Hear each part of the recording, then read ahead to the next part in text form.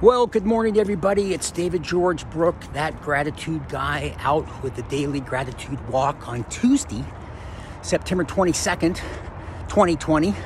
Out getting the 10,000 steps in. It rained a little bit last night, but it's clear and actually warmer today, so no sweatshirt today. But make sure you're getting those steps in.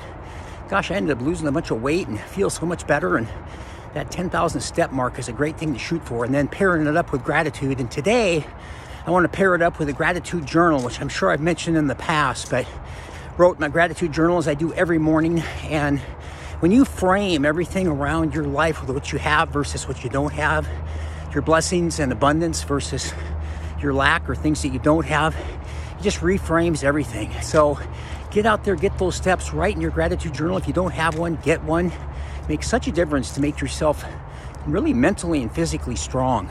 That's the message for the day. Remember, be grateful and never quit.